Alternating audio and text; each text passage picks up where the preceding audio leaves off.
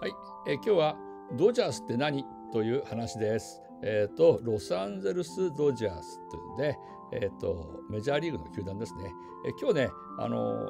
エンジェルスの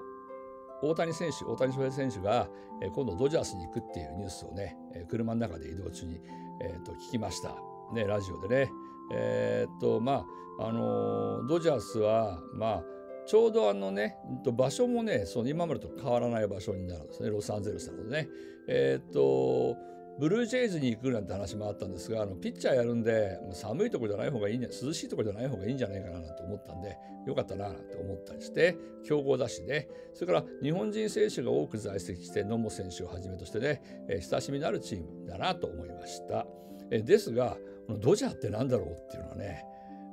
分かりにくいんだよね。えーライオンズとかタイガースとか動物の名前がついてると、まあ、かっこよかったり強かったりする動物の名前つけたんだなってすぐ分かるんですけど、えードジャーってなんだよ、ね、変わった名前だなと。ねえー、とスペルはこんなスペルでね DODGE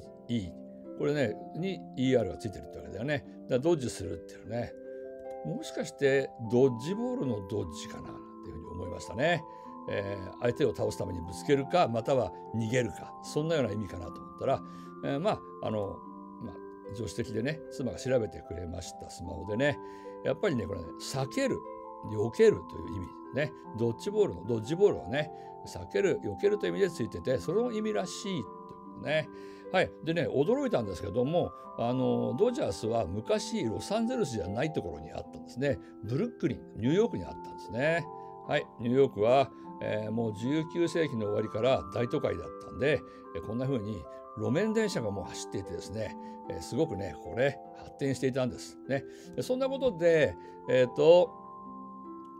ロジャースの前身にあたるチームはニューヨークにあったんだけどもあのまあ、当時路面電車が普及しても事故も多かったりして人がねあの事故を起こして怪我したり死んだりすることが多かったりしてですね、ニューヨークの都会的な子はですねこう路面電車を避けながら、まあ、それが結構かっこよく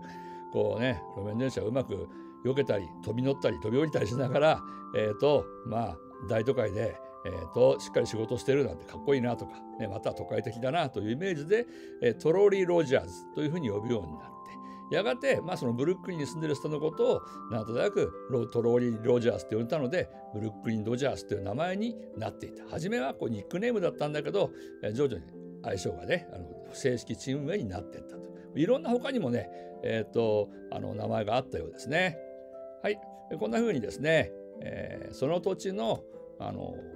人々の相性というのがえーチームについてしまった。でしかしロえドジャースはロサンゼルスに移籍し移ってしまう移転したんですよね。でもねもうあのドジャーとは関係ないんですけども伝統としても名前は継承されるということになりました。ねはいまあ、こんなようなね、えーパブリックイメージがチーム名になることもある。まあそのね、その土地柄とか人柄人の様子なんかを表した言葉がチームの相性になる、まあ、他にも例があるね。えー、とこのようにまあみんなこれ都会のチームになるんですけども、ええー左側からヤンキースですね。ヤンキーってもともと今あの後のよく世の中ヤンキーっていうとあのアメリカ人全体のことを指すようになったんだけどもともとはニューヨーカーのニューヨークの人を指していたんですね。うん、日本ではあの不良のことになってしまいましたけどね。えー、隣はフィラデルフィア・フィリーズとかねニューヨーク・メッツ、ねえーそれから大谷選手が今年までいた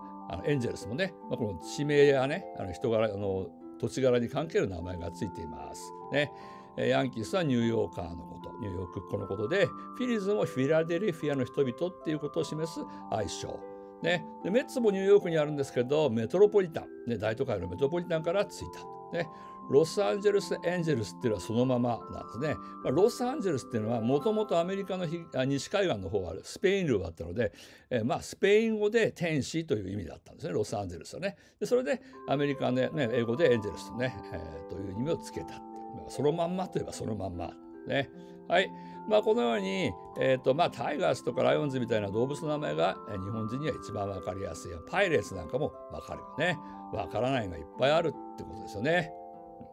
えー、とアメリカでは、えー、とこんな風にですね、まあ、日本人にはわからないいろいろなこういう習慣があって名前がついてるんでしょうね。えー例えば、えー、このねサンフランシスコジャイアンツ日本にもジャイアンツってのがあって巨人っていう意味なんですよね、まあ、以前ね聞いた話だとあの旧約聖書にあるあの有名なあの裸であの立ってるダビデミケランジェロのダビデがですね石投げっていう武器でゴリアテという巨人兵を倒したっていうね、え、それが語源になってる、まあ、ちょっとそれはあれかななんてあのゴリアテ明らかに悪人悪役なのでそんなの名前つけるかなとちょっと疑問に思いますね。おまけにゴリアテはペリシテ人という、まあ、いわば元祖パレスチナ問題みたいな、まあ、パレスチナっていう地名はそのペリシテ人から来てるんですけど、まあ、そういうものだし、まあ、ちょっとですね、えっと、野球のチームにつけどうかなと思ったらどうもあの偉大な人たちとか立派な人たちみたいな抽象的な意味らしいと。ね。はい、ということで、えーと、ジャイアンツっていうのは日本のジャイアンツもサンフランシスコのジャイアンツも、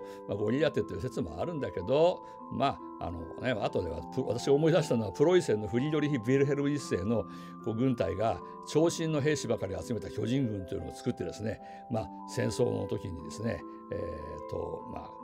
相手チームを威圧し相手の国を威圧するように使ったなんて話を聞いてそれかななんてってね、まあ、抽象的に偉大な人たちのは意味らしいです。で、えー、とアメリカの歴史とかですね、えー、その様子がですねチーム名に反映して日本人には分かりない分からないっていうことですよね。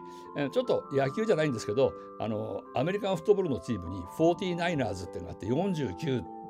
に複数形の S がついてるって一体何だろうと思っていたらこれはなんかやっぱりカリフォルニアにあるチームであのゴールドラッシュでね1800 49年にカリフォルニアって爆発的に人口が増えてった。ね、一攫千金を狙う男たちがですね、えーと、1849年にカリフォルニアに集結したということで 49ers ってカリフォルニアの人々っていうふうな意味になったわけですね。こうやって見るとあのー、えーと野球やサッカーのチーム名なんかをですね、えー、調べてみると結構あの深い意味があったりして面白いなと思いました。また機会があったら話題として触れてみたいと思います。今日は以上です。